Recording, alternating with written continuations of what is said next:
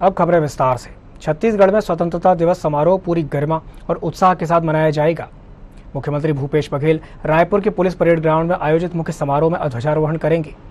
स्वतंत्रता दिवस के अवसर पर विधानसभा अध्यक्ष डॉक्टर चरणदास महंत कोरिया में और उपाध्यक्ष मनोज सिंह मंडावी कोंडा गाँव में ध्वजारोहण करेंगे।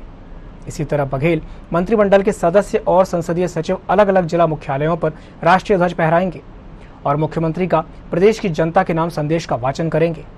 आपको बता दें कि सामान्य प्रशासन विभाग ने प्रदेश के जिला मुख्यालयों में ध्वजारोहण के मुख्य अतिथियों की सूची जारी कर दी है।